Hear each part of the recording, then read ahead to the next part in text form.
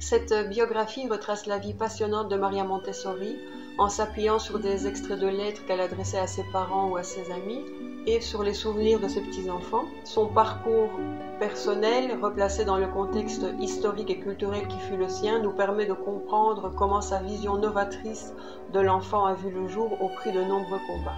Je suis heureuse d'avoir humblement pu contribuer à cette biographie de Maria Montessori, dont le parcours atypique et la vie romanesque sont très intéressants.